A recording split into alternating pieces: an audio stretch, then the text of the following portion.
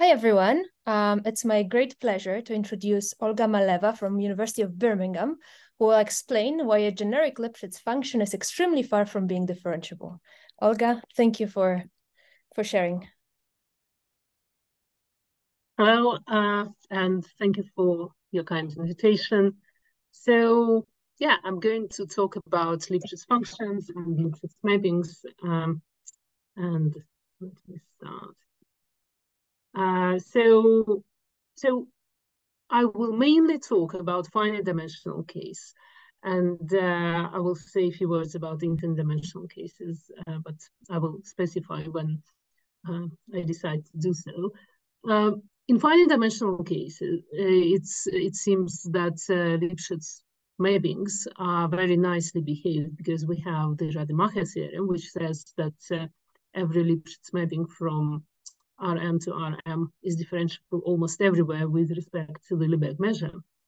And uh, uh, we conclude from this that if we consider um, the set of points where it is not differentiable, then this is a small set. It has a Lebesgue measure zero. Now, uh, one of the natural questions that uh, people started to wonder about uh, quite some time ago uh, was what if we start with a set, uh, with a prescribed set of Lebesgue measure zero? Can we always find uh, a Lipschitz mapping or a Lipschitz function which is not differentiable everywhere inside the set or maybe exactly at the points of this given set? Uh, now, uh, there was a result uh, by David Preiss in 1990, uh, and then um, uh, subsequently I had a number of joint papers with Michael Doré and then with Michael Dymond, uh, where we actually show that if we talk about Rn um, with n at least two, then uh, it is always possible to find a set, a null set, uh, for which uh, every Lipschitz uh, real real valued Lipschitz function will have a point of differentiability. And the same is true if we have uh, uh, real valued Lipschitz functions defined on Asplund spaces, infinite dimensional spaces. now, precisely uh, what how small this set may be. So um, this set may be chosen to be of Hausdorff dimension one, uh, could be closed and bounded, um, and even of Minkowski dimension one in the finite dimensional case. Uh, now, just to briefly say, um, original result by Preiss gave uh, the Hausdorff dimension one, but uh, not the closeness. So the set constructed um, in the paper by Preiss, uh, actually, its closure was the whole space. And uh, uh, somehow this was an in intrinsic part of the proof. So um, we had to, to work a lot to, to make the set uh, much smaller so that uh, it is already closed uh, when um, we're talking about all these properties.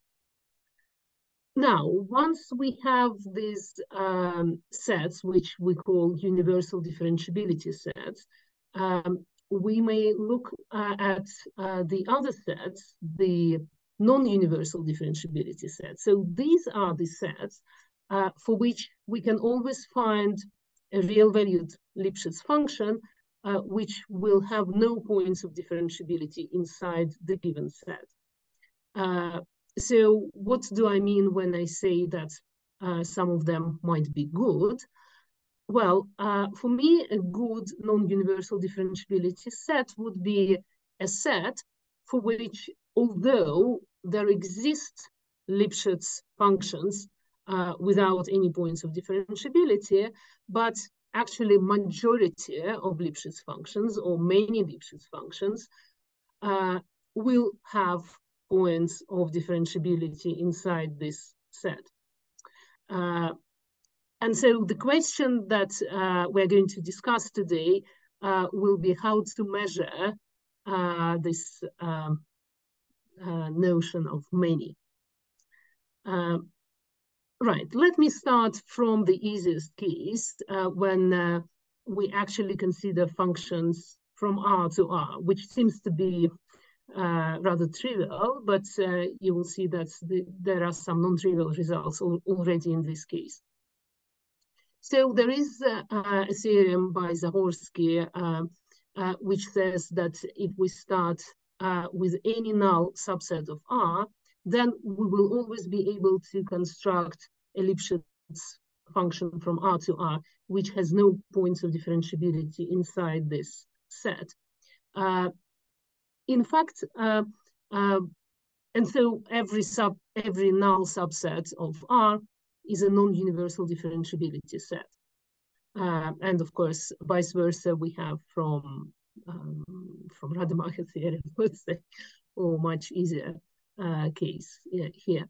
Uh, now, slightly non-trivial uh, part of uh, this theorem is that uh, we don't we don't get equality. So um, there are uh, null subsets of R for which um, um, whenever f is nowhere differentiable on that set, uh, the set of points of non-differentiability will actually be bigger than the given set. But uh, I'm not uh, going in, in, that direction.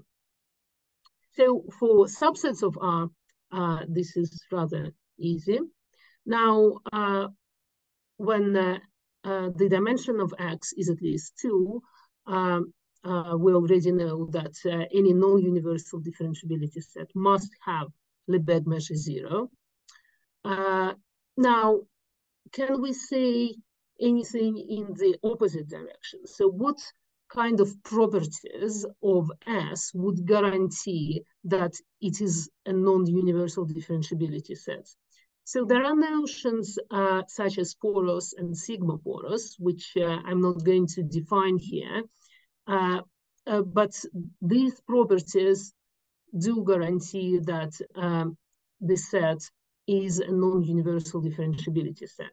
So roughly speaking, uh, that means that um, around uh, every uh, point of the set um, um on arbitrarily small um, um, scales, you are going to have uh, pores of radius proportional to the distance between the center of that uh, pore uh, of that circle uh, that is outside of the set and uh, the point. But uh, as I say, I, I don't want to uh, to enter into this.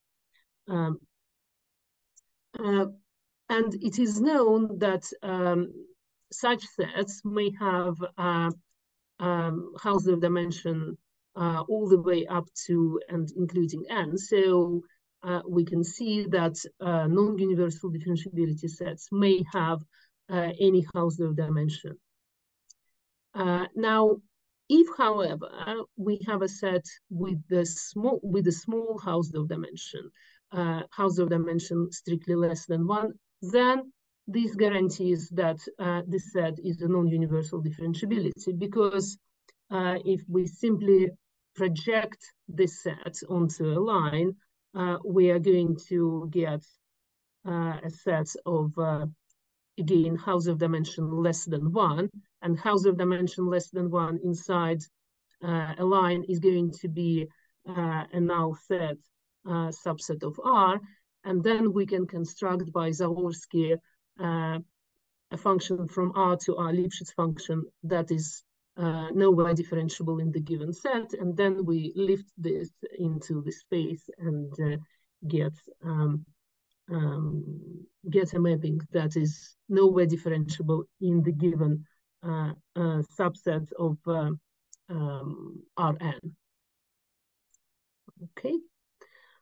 Um, yes, and uh, more generally, if we have any subset of R of Lebesgue measure zero, and we take its uh, product with, uh, let's say, Rn minus one, then we get an example of a non-universal differentiability set.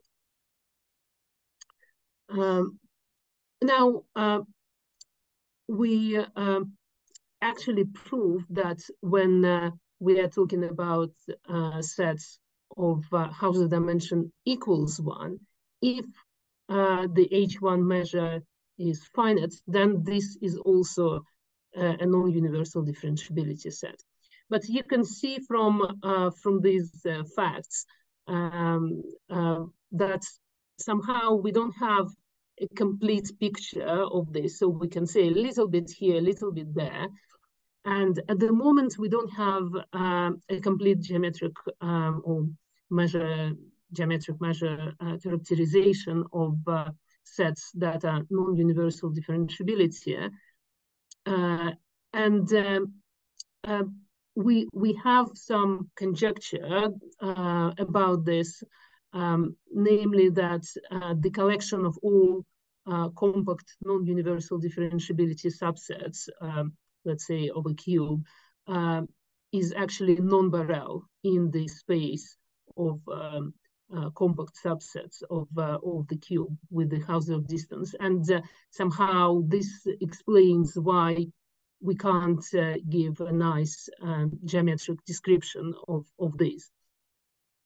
Uh, but uh, again, this is a side remark, so to speak. Um, so uh, I will now be um, interested in um, in trying to um, answer first uh, the question about existence of good non-universal differentiability sets.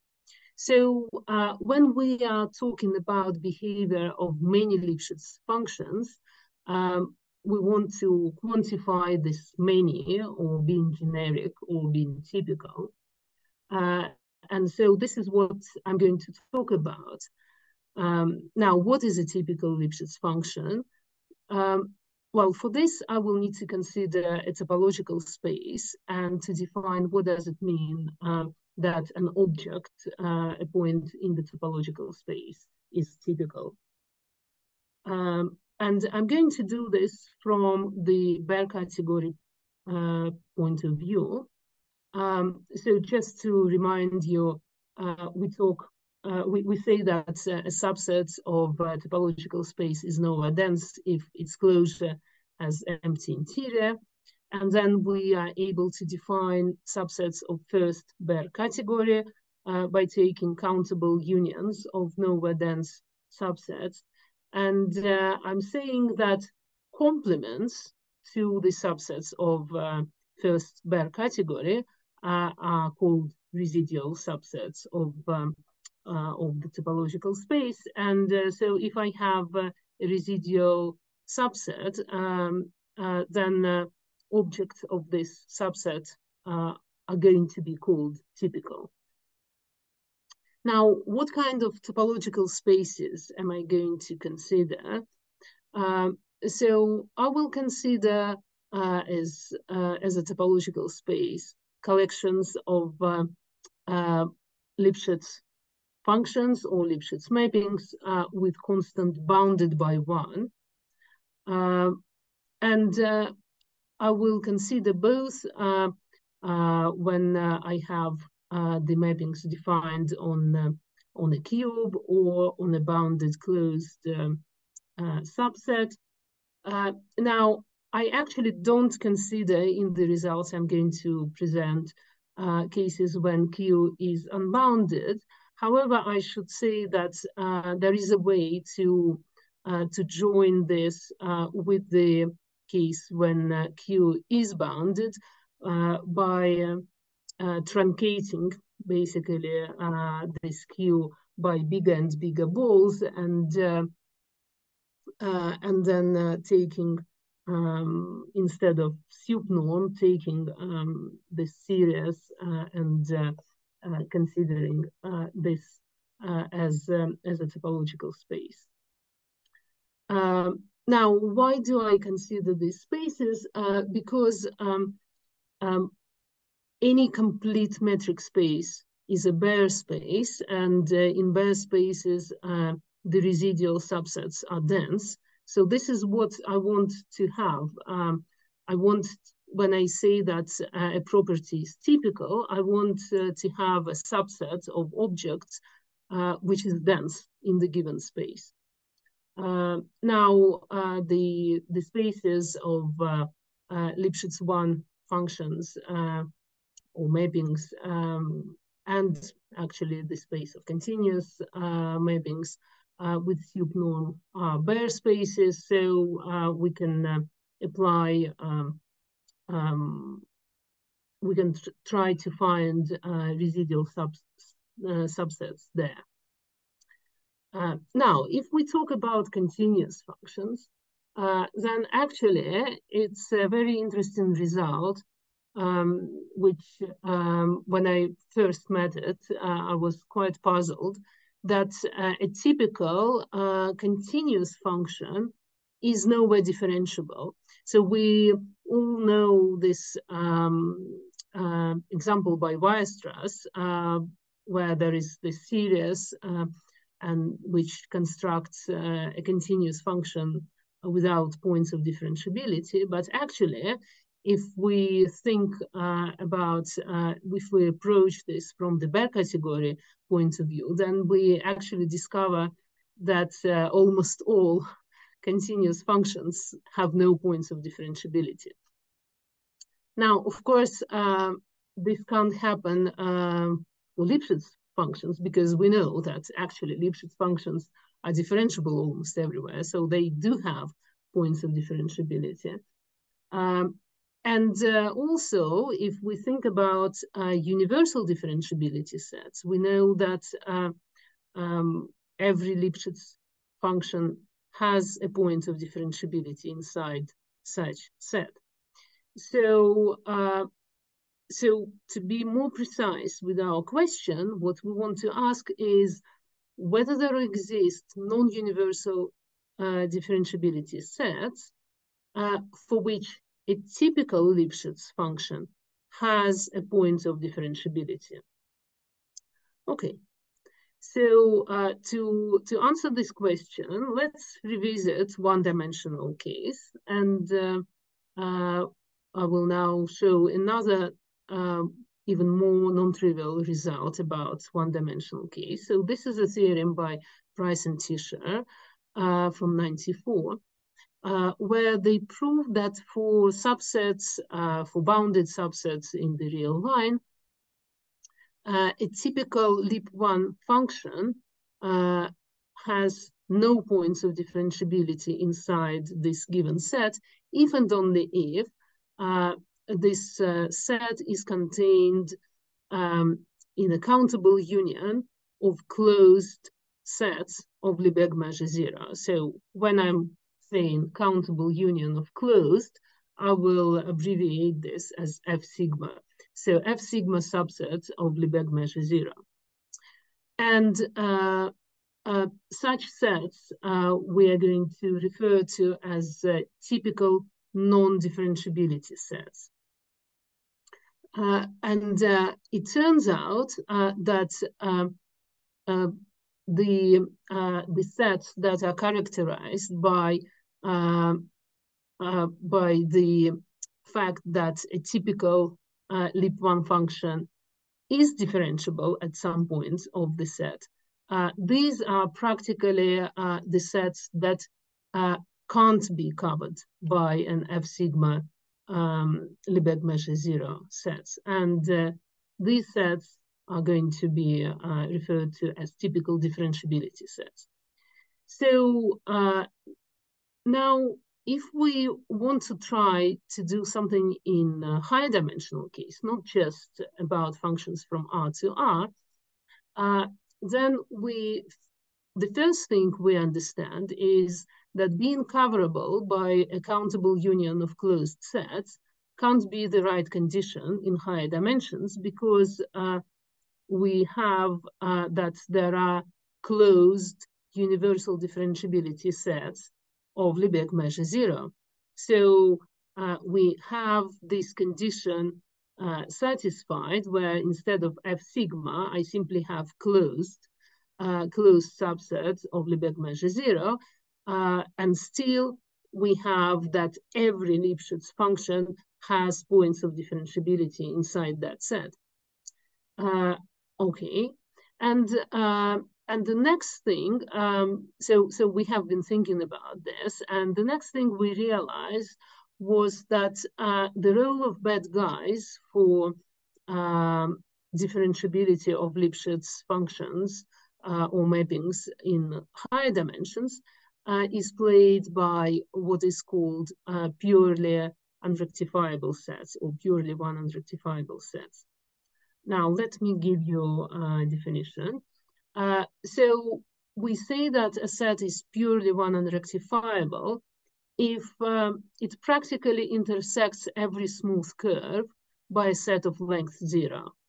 Uh, now, I'm cheating a little bit here uh, because um, uh, we want to, to put some conditions. So, for example, this phi can't be um, just um, identical, right, point. So, so we need to have some, some kind of condition uh, to have that um, no actually in in this form it will be it will be still true if, if phi is uh, is is a point then uh, each one of this intersection is going to be zero so we want to to have that uh, intersections with every curve uh, is um, is of length zero.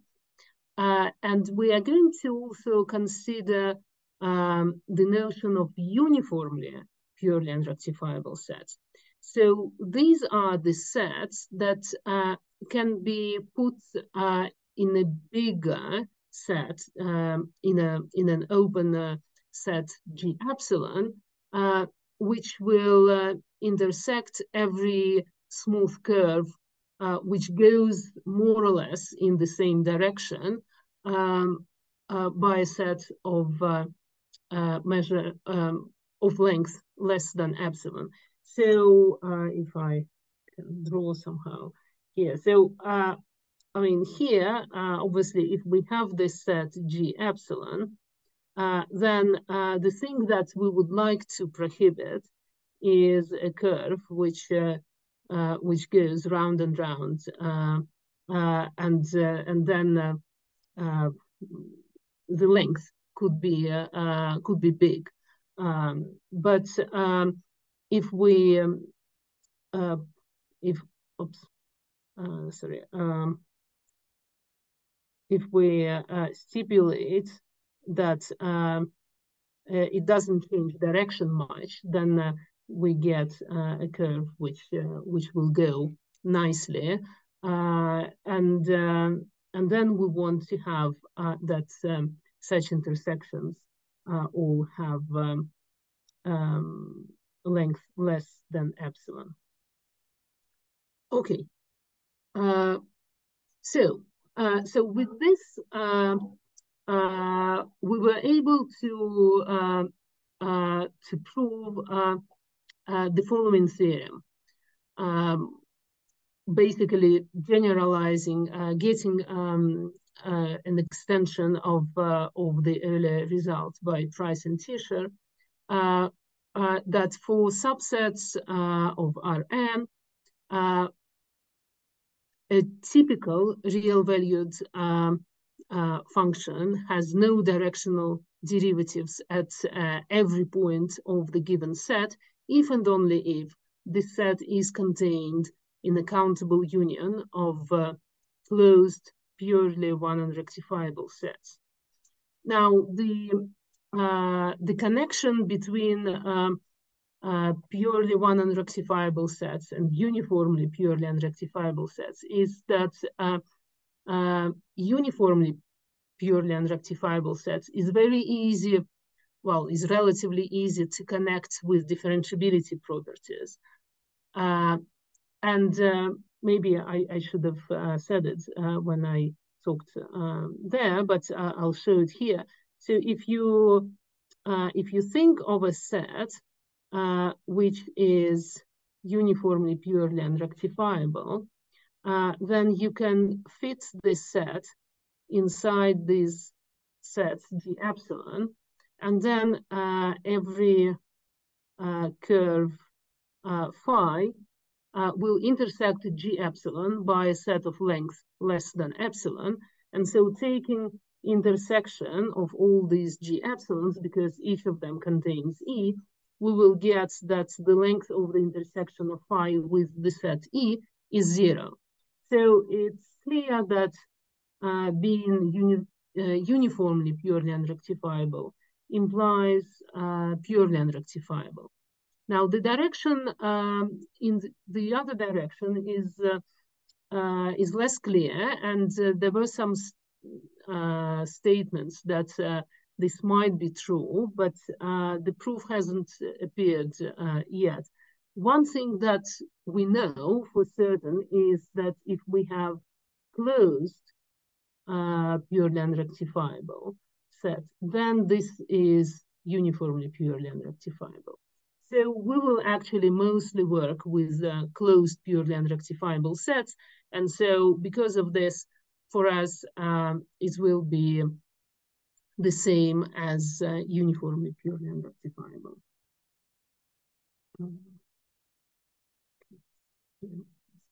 Okay, and uh, yes, and so these are typical non-differentiability sets and um, uh, a typical uh, real valued uh, function has a point of uh, um, of differentiability at some point in S if and only if uh, the set can't be covered by um, a countable union of um, closed purely unrectifiable sets.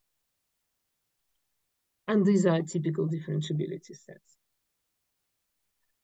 Now, uh, so let's let's answer the question uh, that we asked. Uh, so consider um, uh, such a set. So what do I do?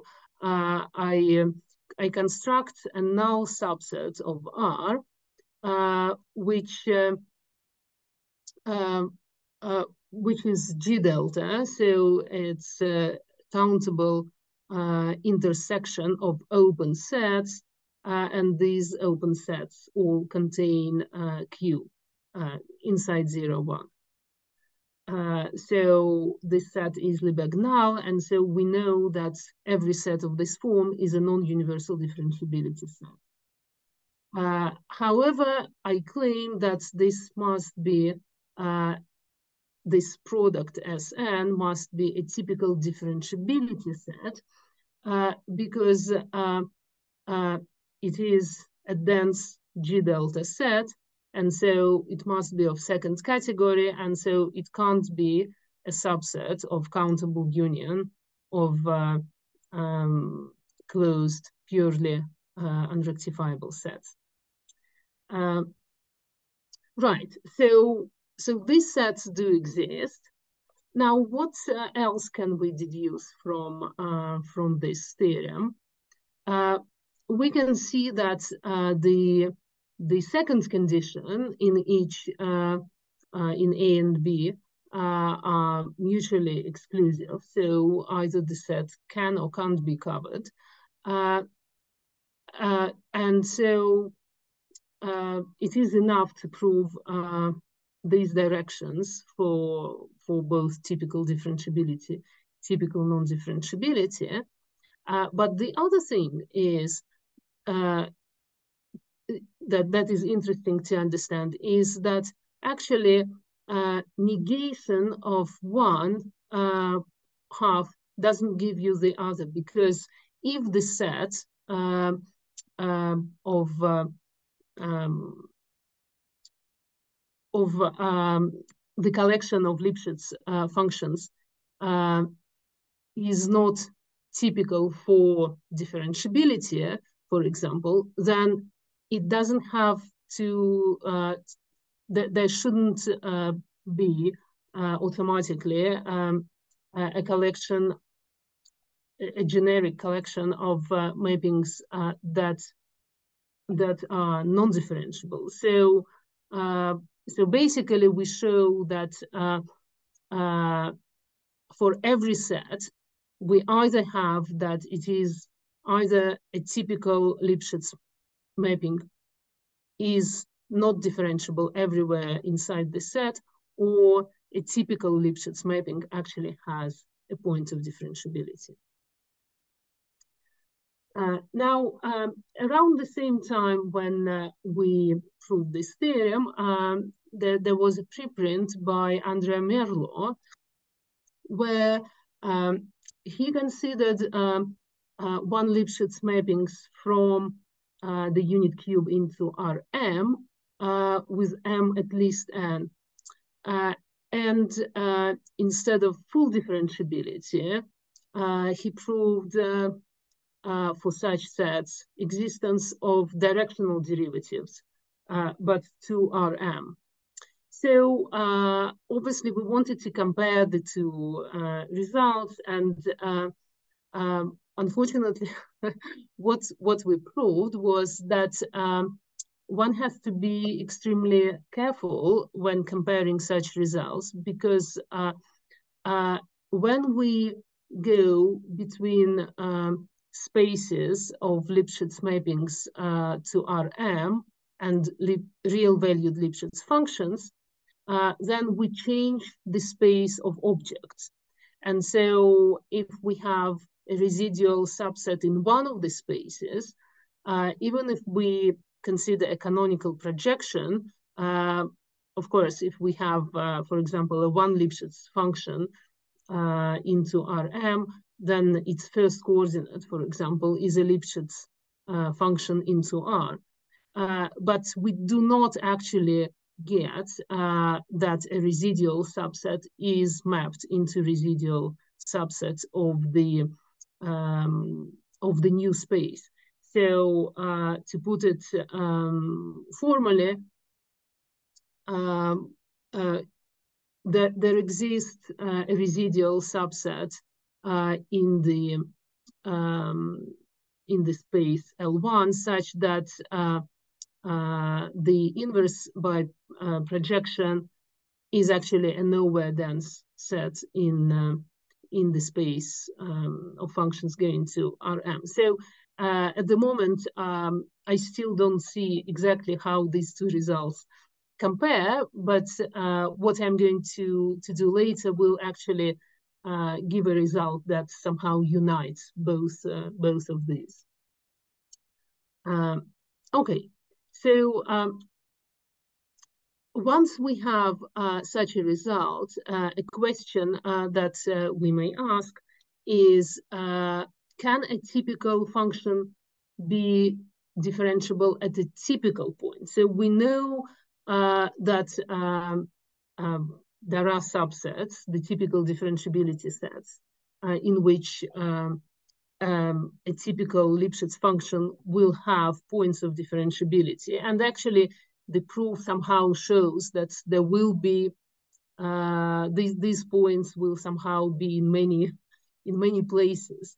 Uh, but it doesn't answer how many of these points are we going to find. Uh, so we started by trying to, to actually prove that um, it will be differentiable at a typical point, but we ended uh, with something completely uh, unexpected. So now I'm going to consider for a little while um, uh, mappings uh, between Banach spaces. So assume that we have uh, X and Y Banach spaces, a closed bounded subset uh, of X, and uh, I'm trying to um, decide uh, what can I say about uh, points of differentiability of Lipschitz one uh, mappings from Q to Y, uh, or about their non-differentiability.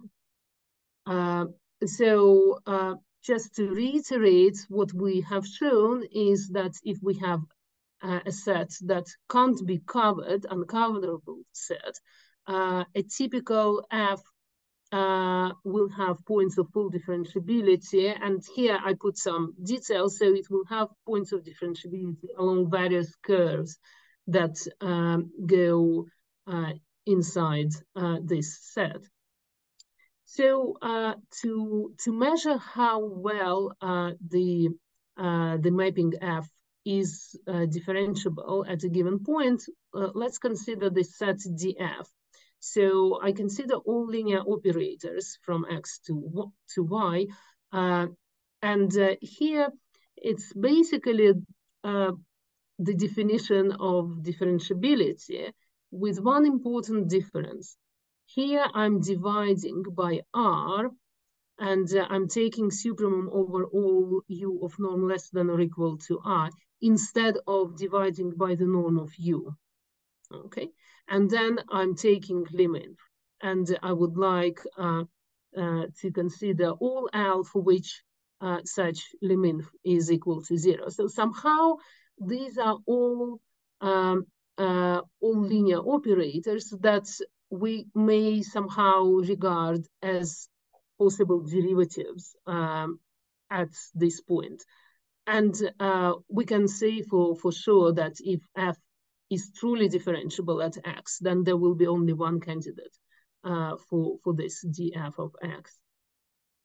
Now, what we have shown is uh, that uh, for any s uh, and any separable uh, w, I'll, I will explain in a second why we need this condition take some W in the collection of all bounded linear operators from X to Y, uh, there is a residual subset uh, of the space of Lipschitz one um, mappings uh, from Q to Y, such that uh, this typical uh, Lip1 mapping, every F from this collection, has the following property that the set of points in the given set S, for which this df is huge because it contains the whole ball uh, inside this W. So if we're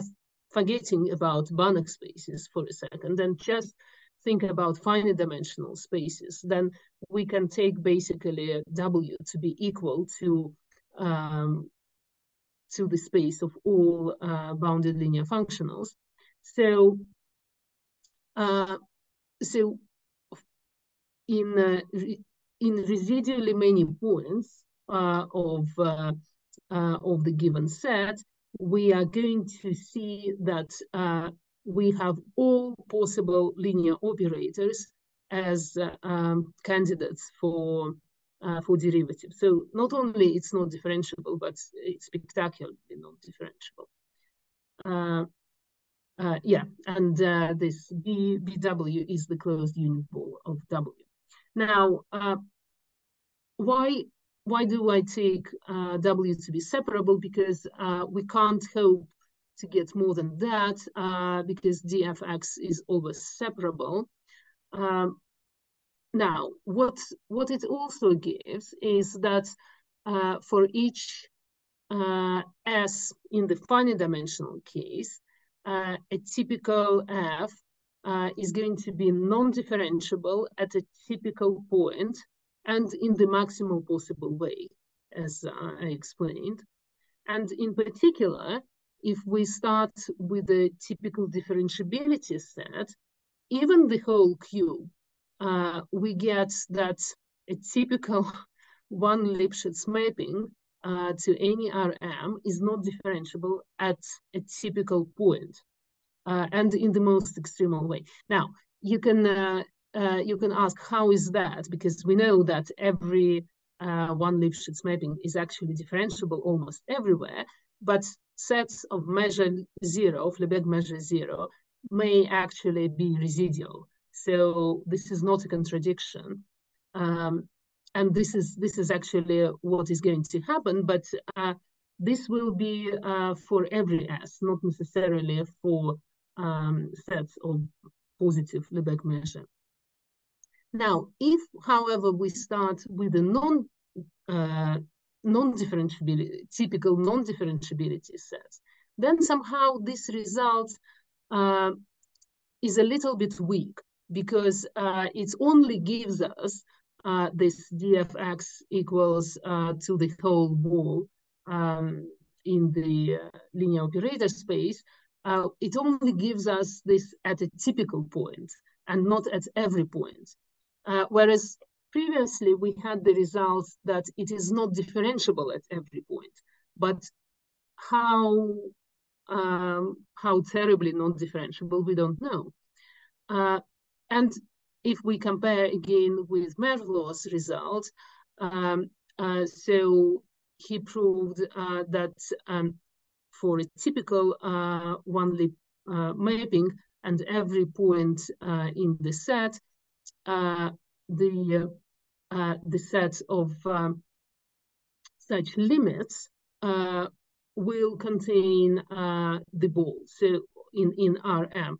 So again, um, if we are thinking about directional derivatives, uh, then uh, somehow this suggests that we would like uh, to be able to replace this typical point by every point.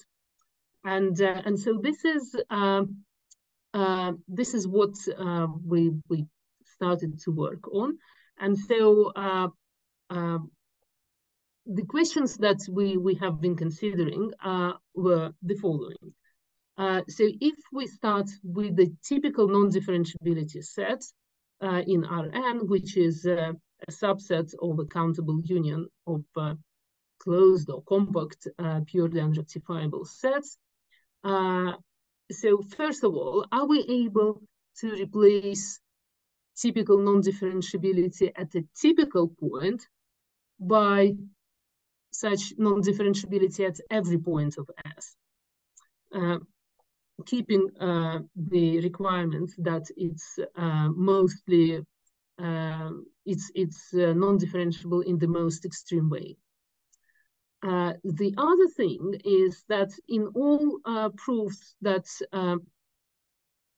yes, and this would improve both our earlier results uh, and uh, and the result by Merlo. Um, now, the other thing is in all the previous considerations, we were always considering Euclidean um, norms on the spaces.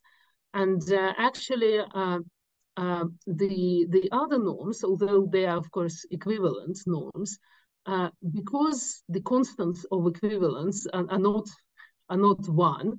Uh, and uh, here it is important that we keep uh, the Lipschitz constant. Uh, the question uh, is whether we can get rid of this uh, condition of being Euclidean. and the last question is, can we get this um, when the functions or the mappings are defined on, um, on some closed bounded sets as opposed to unit cubes. Now, uh, before I give you answers to these questions, uh, let me tell you how are we going to prove that some subsets of a topological space are residual. So what we are using uh, is called uh, Banach-Mazur game. And uh, this is the following thing. Uh, there are two players, player one and player two, a topological space T and a target set A. Uh, and the players choose non-empty open subsets of T, uh, one after the other, uh, using the following rules. So the first player chooses uh, an open, non-empty open set U1. Uh, then second player chooses its non-empty open subset V1. and so on. And then the first player U2 inside V1 and so on. Uh, now, the aim of player two is to guarantee that the intersection of all constructed sets or the intersection of all VNs is a subset of A that was given from the start. And the aim of the first player is to prevent this from happening. Uh, a very important theorem uh, says that uh, a subset A is residual if and only if player two has a winning strategy. So basically, to prove that some collections of functions um, are re residual, uh, we construct a winning strategy for the second player, and uh, and this proves that um, uh, this collection uh, is um, is residual. Now uh, we can actually uh, construct um, strategy that only uses balls instead of uh, any open sets. And this simplifies things um, because we are talking about um, spaces of Lipschitz functions, and so we naturally can consider balls uh, inside these spaces. So uh, the latest result uh, I would like to uh, mention uh, says the following. If we have a subset uh, in Rn that uh, is a subset of the countable union of closed purely unrectifiable sets. Um, and uh, the spaces Rn and Rm are equipped with any two norms. Um, then for a typical lip1 function uh, and every point x in, uh, in the set S, we have this extremal non-differentiability that dfx is equal to the uh, whole ball um, of uh, linear um, of the space of linear operators from x to y. Uh, and we actually uh, were able to replace uh, this um, unit cube, uh, um, the, the mappings to be defined not necessarily on a unit cube, uh, at the moment, because this is a kind of uh, work in progress, at the moment we have this for every compact uh, subset of Rn that is Lipschitz retract of Rn. Uh, but um, we're working on um, um sort of uh, weakening this condition or maybe removing uh, this condition. So yeah, let me let me make some comments about this.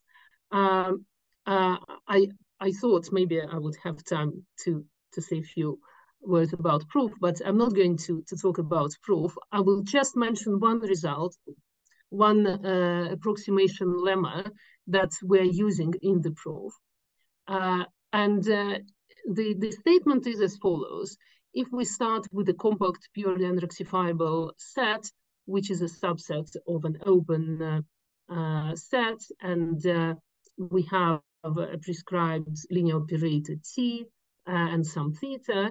Then we can find a Lipschitz mapping from X to Y such that um, the main thing is this, its derivative uh, approximates t at everywhere, almost everywhere um, on H. Uh, and uh, its support is inside U. So somehow it goes uh, uh to zero outside of U, but uh, inside U uh, and inside some open subset of U, H, it, it, will go like T. now, the the problem that uh, we originally had was that we, are, we were not able to get an estimate of the Lipschitz constant of G uh, with the norm of T. Uh, the, I mean, if uh, you will see in the moment that uh, in the case when we have Euclidean norm, we actually do get this uh, estimate with a norm.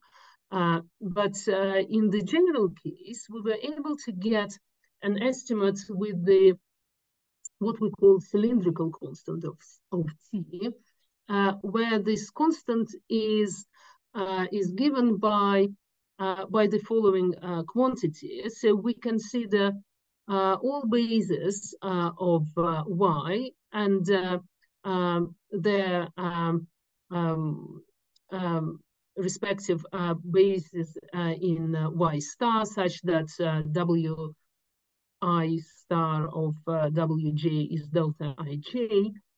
And uh, we consider expressions like this, uh, where we take the sum up to j and uh, consider the maximal um, quantity uh, for j uh, between 1 and m.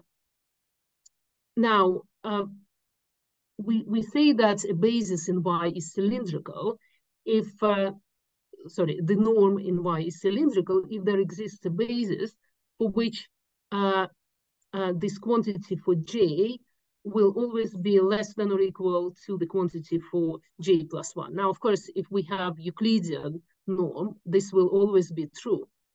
Uh, so Euclidean and any LP norms are cylindrical.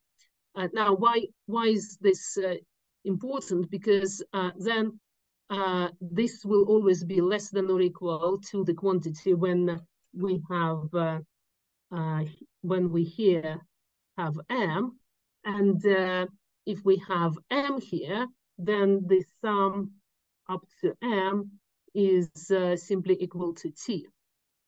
And so we get that uh, uh the Lipschitz constant of g is less than or equal uh, to the norm of t plus some small um, constant. so we decided to to find out something about this. So, so we actually realized that if dimension of y is one or two, then any norm is cylindrical.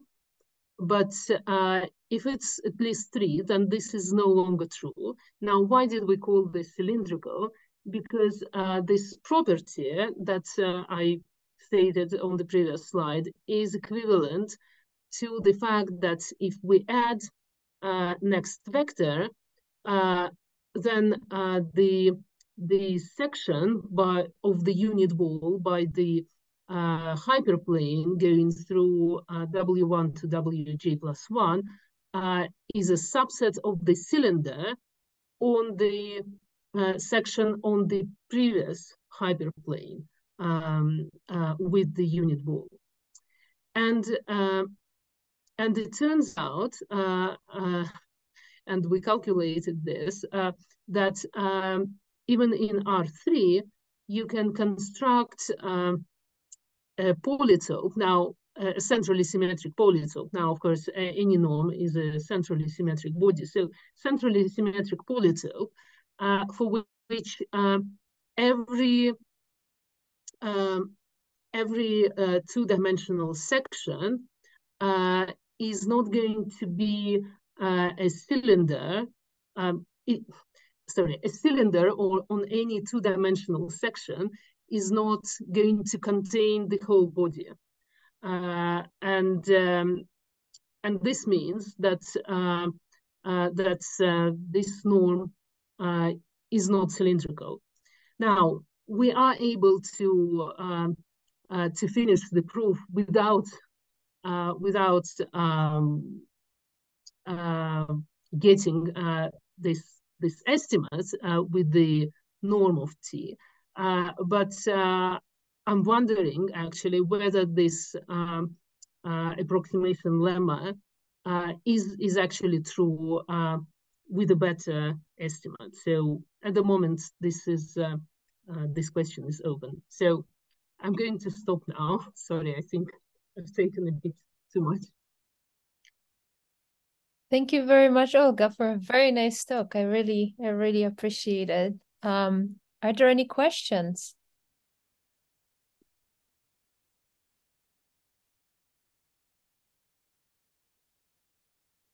So it doesn't doesn't seem like it. Um, could you actually say a few words about the proof? Yeah.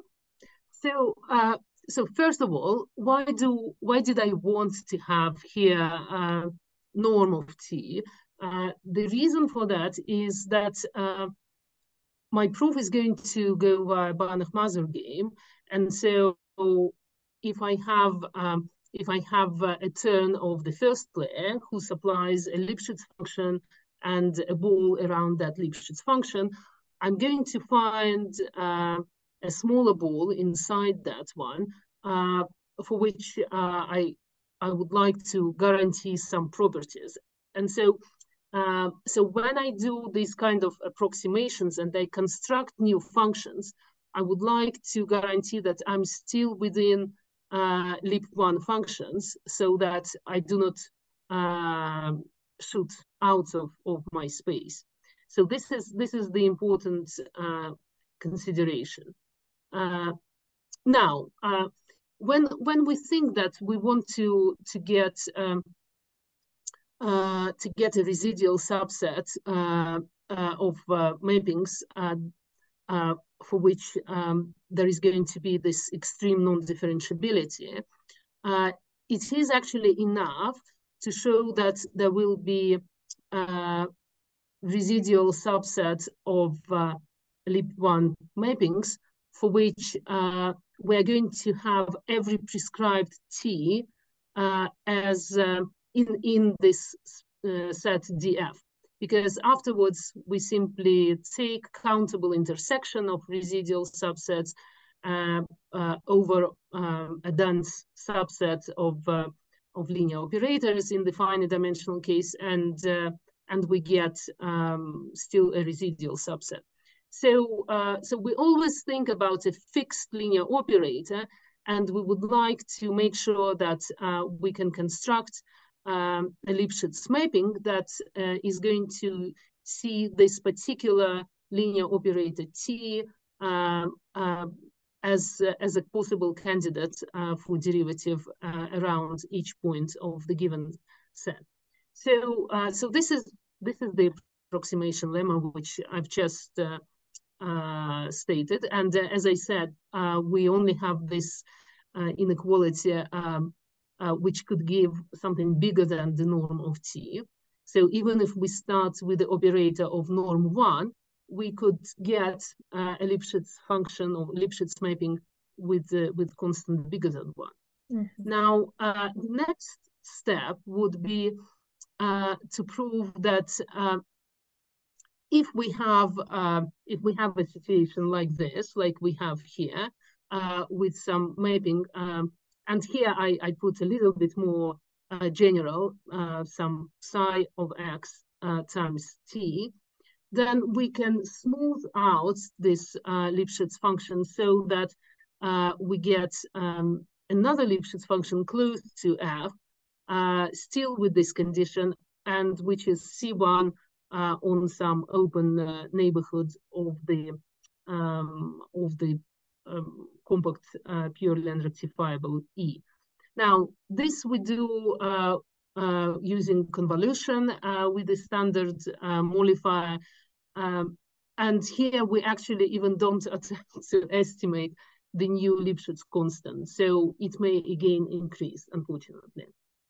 now, the next step is um, uh, is is uh, if we are given um, this uh, compact purely unrectifiable set and uh, we're given some phi, um, uh, a continuous function uh, with um, values between zero and one, then we can find um, a Lipschitz function which um, Lipschitz mapping, which which satisfies this condition dg uh, is approximately, when I say approximately, it means that the norm of difference is smaller than a given uh, constant or given uh, quantity, um, is approximately psi of x times t, where psi is a uh, function between 0 and phi, uh, which coincides with phi on this open neighborhood. Uh, now, this, this is a combination of the first two steps. and so, again, by doing so, uh, we may have um, uh, Lipschitz mapping, which which has rather big uh, um, constant. And um, and finally, important step is that uh, if we now have uh, a sequence of uh, linear operators and a sequence of continuous functions, we can apply the third step to get uh, some functions, elliptic functions gk. And then if we take uh, this sum, um, uh, what we can uh, notice here is the following. If we uh, have this additional condition that supports of phi k are all inside this open set H0, then this condition of psi less than or equal to phi um, uh, and uh, the support of G is a subset of support of phi will give us that uh, the new function will coincide with F0 outside of H0. and its derivative is going to be, roughly speaking, uh, derivative of f0 and summation of what uh, the derivatives of gk's are. And these are given by this psi k times tk. Um, and there is some additional condition which uh, I, I wouldn't comment on. So uh, yeah, so this is the fourth step. And so in order to find the final function, the response of, um, of player two, uh, we start with lip1 function f, and um, we actually assume that its Lipschitz function, its Lipschitz constant is uh, strictly less than one, and the operator t of uh, norm less than one. Uh, we take a small neighborhood of e uh, uh, which is uh, still inside H uh, as union of balls. And then we take a smooth partition of unity subordinate to this to these balls. okay, now I take very specific sequence of operators tk. So every um, odd numbered t uh, is going to be minus derivative of f0 at the center xk and uh, every even is going to be just t. And the functions phi to k, phi to k minus 1 will coincide with, uh, uh, with the gamma k um, coming from this partition of unity. So now, uh, uh, now what, what is uh, the derivative of fn? So it's the first term is df0, and then we have the summation of uh, CKX TK. So for uh, odd numbers, we are going to have C2K minus 1 times minus df0 of xk.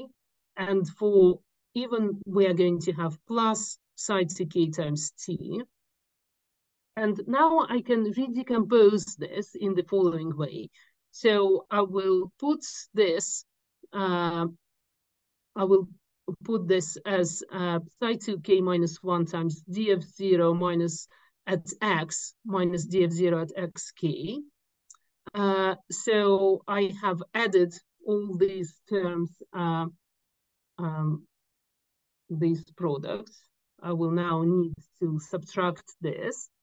Uh, so this is where I'm subtracting this. And uh, I have this df0 at x. And finally, I have the third term. Now, the very first uh, uh, term is, is actually uh, because F0 is C1, uh, this is how we're using tau, so that all these norms are small.